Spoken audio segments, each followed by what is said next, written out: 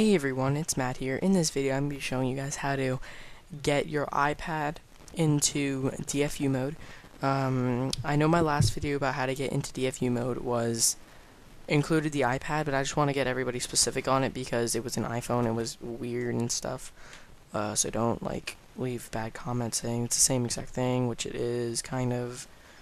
And yeah, it's just a bigger device, and you have to. So whatever. Um, uh, this is mm, for the iPad 2 kind of, uh, and it, it, does work on the iPad 1 because it's the same exact thing, except it doesn't have the camera or blah blah blah. Not gonna get into that, but um, you're gonna make sure when you're doing the getting into DFU mode, you're not gonna want to put this back on, like while you're, even though you can't, like while you're doing everything. So if you're like you don't want to do that in case it like shuts off accidentally, so you want to have the device open the whole time. So if you want to just get rid of this. Yeah, that was probably pointless to mention, but just had to go through it. Alright, so you're going to need two things. You're going to need your iPad, and you're going to need your USB cable plugged into your computer with iTunes open.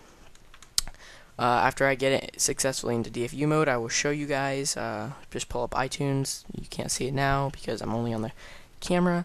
So if you want to see the how to get the iPhone into DFU mode, click up or up here actually if you want to see how to get into DFU mode or to get out of DFU mode for the iPhone click up here. If you want to see how you get out of DFU mode on the iPad get click right down here. Alright so let's get started.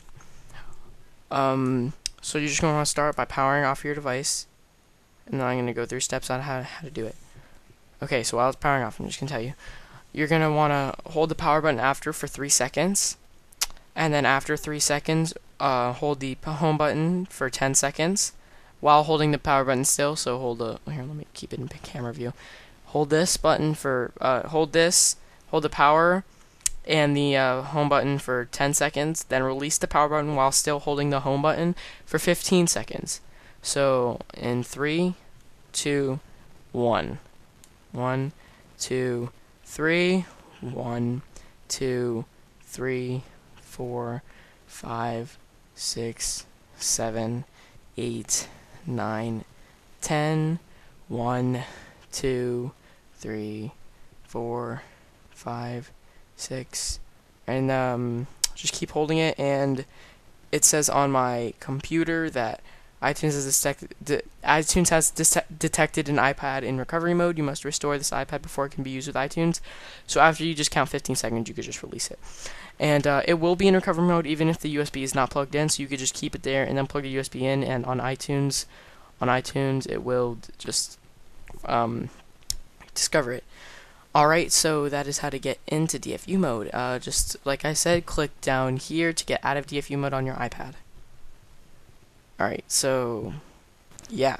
So I hope you guys enjoyed. If you did, make sure you guys uh, subscribe. Uh, also, if you have any questions, leave a comment in the comments below. If you have any trouble, again, leave a comment.